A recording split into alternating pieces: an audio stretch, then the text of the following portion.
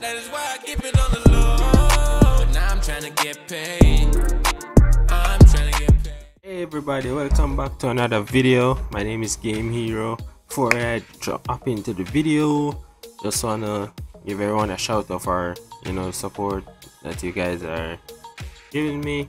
And don't forget to use code Game Hero. Yes, my code has been changed. Game Hero there and support me also follow me on my social media and yeah and I got a Patreon too. Yeah you guys uh, support me there. You know I'm planning some content for that too like some vlogs or stuff but anyways let's get right into the video. So today we got the Ford F-150 and uh, when I first saw it, it was like, yeah, it's pretty cool. Don't get wrong, it's cool, right? I don't, I don't hate the, I don't hate it.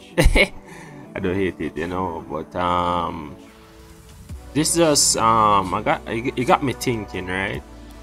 Like, I was thinking, the Harbinger. If you guys um know that, it's basically the same as this.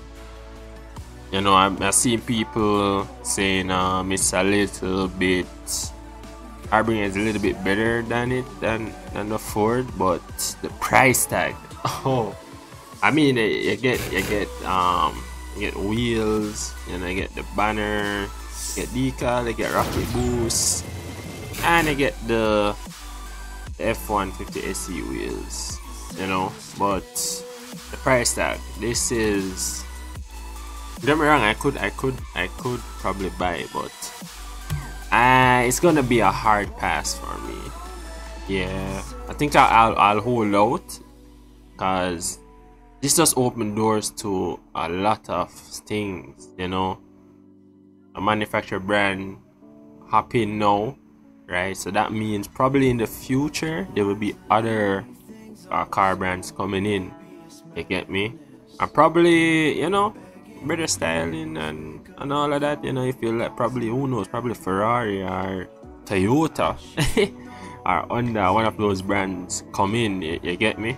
So um by all means if you like the ford f-150 you should you should buy it you know don't, don't get me wrong and you know use my supporter code but my opinion yeah it's gonna be a hard pass for me because let me show you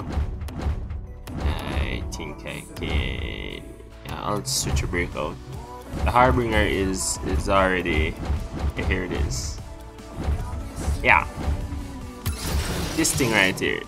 If you, it's, have a lot of similarities. Same octane hitbox, you know. Basically the same thing. So um, as I said, it's going to be a hard pass for me.